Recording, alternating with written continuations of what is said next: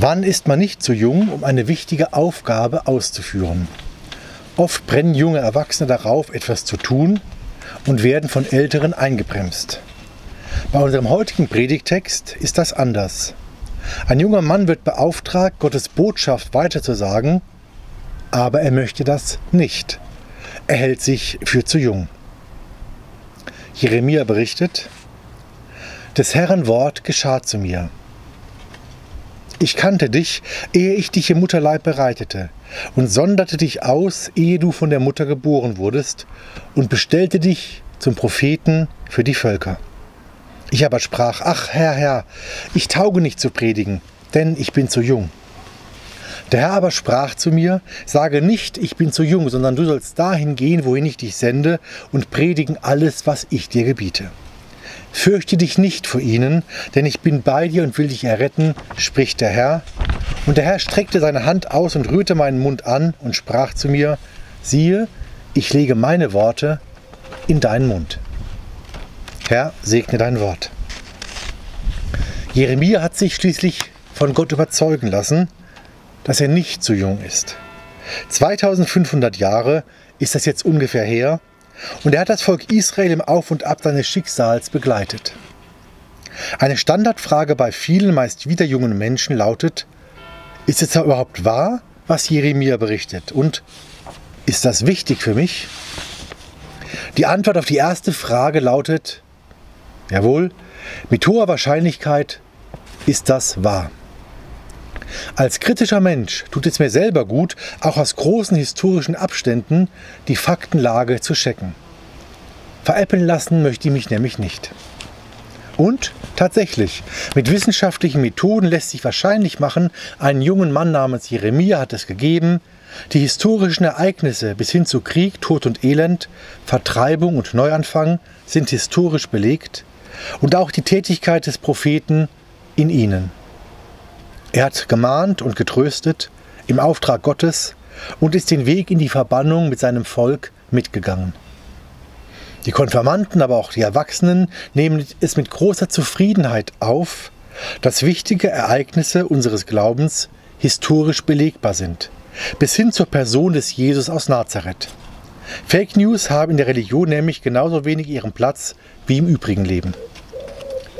Darüber hinaus tut es gut zu spüren, Menschen vor mir haben schon Erfahrung mit Gott gemacht, berichten darüber und schaffen so eine Gemeinschaft durch die Jahrtausende hindurch zur Gegenwart, zu unserer Gemeinschaft.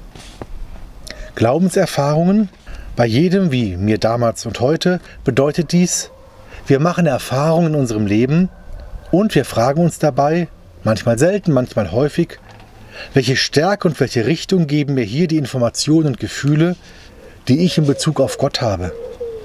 Und dementsprechend verarbeite ich die Erfahrungen und richte mein Handeln daraufhin aus.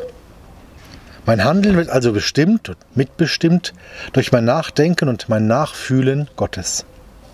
Dieses Handeln aus dem Glauben heraus ist es übrigens, was die christliche Umwelt zu allen Zeiten sehr in Erstaunen versetzt hat und herausforderte.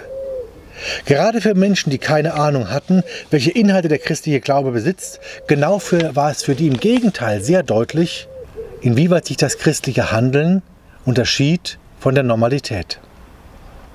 Die Christen in den ersten Jahrhunderten gingen zum Beispiel nicht zu den Gladiatorenkämpfen, wo sich die Menschen gegenseitig töten mussten.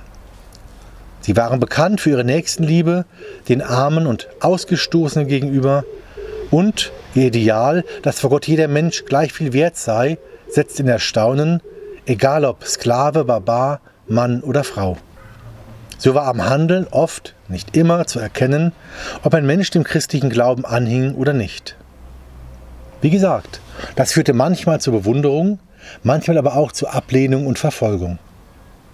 Denn wer anders handelt als die Normalität, der zwingt halt zum Nachdenken, hinsichtlich des eigenen Tuns und Seins und damit zu unterschiedlichen Reaktionen.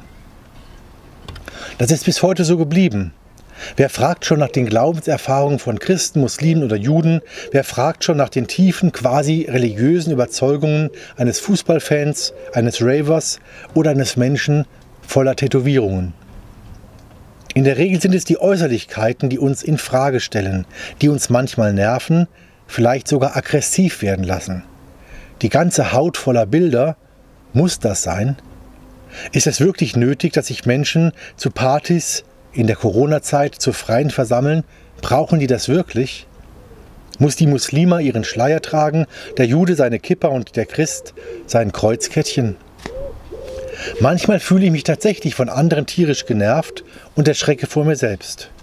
Dann merke ich, ein Gespräch mit der betroffenen Person, wenn sich's ergibt, über das Warum seines Äußeren, das führt oft zu spannenden Erkenntnissen. Ohne dass ich die Eigenarten des anderen übernehmen muss, verstehe ich ihn besser und er übrigens mich auch. Eine positive Überraschung. Manche sagen, dieser Christ, dieser Spießer, jetzt verstehe ich ihn. Warum fällt mir das gerade bei dem Text ein des jungen Jeremia? Nun, so wie er sich zu jung gefühlt hat, nicht fähig, nicht stark genug, um in Gottes Auftrag zu handeln, so scheint es mir auch, dass wir Christen zu wenig ernst nehmen, dass wir mit unserem Handeln heute ebenfalls Gottes Geist weitertragen und die Welt in seinem Sinn verändern sollen.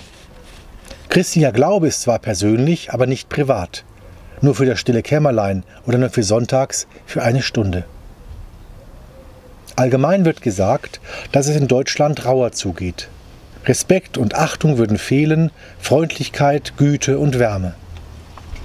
Wenn dem so ist, dann soll es unsere Aufgabe doch sein, in aller Bescheidenheit und Vorsicht dem Beispiel des jungen Jeremia zu folgen und Gottes Botschaft hier auszurichten und vorzuleben. In der Tat, Gott erwartet das von uns und nicht nur von uns, sondern von allen Menschen, als Schwestern und Brüder, als Geschwister in Nächstenliebe vereint.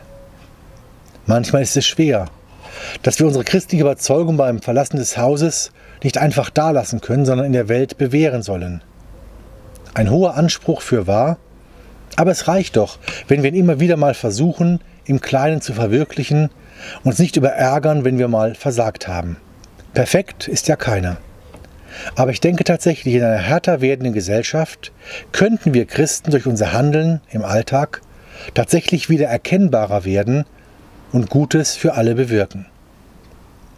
Warum sollten wir das tun?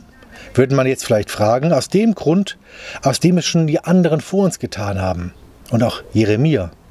Jeremia war verblüfft und erfreut und überwältigt, stolz über die Mitteilung Gottes, mein Lieber, ich kenne dich. Schon ehe du geboren warst, habe ich dich gekannt und erwartet. Und ich setze große Hoffnungen auf dich.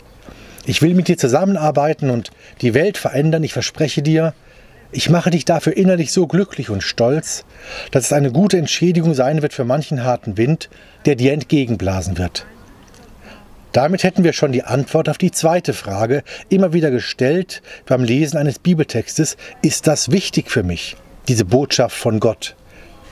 Die Antwort kannst du dir selber sagen und nur selber geben, aber eigentlich steckt schon in der Frage das Ja. Jeremia war nicht zu jung, Hiob war nicht zu alt zum Tun. Jeder von uns ist gerade jetzt für Gott und seine Botschaft in der Welt genau richtig und stark genug in der Seele. Das schenke Gott jedem und jeder in unserer Gemeinschaft. Amen.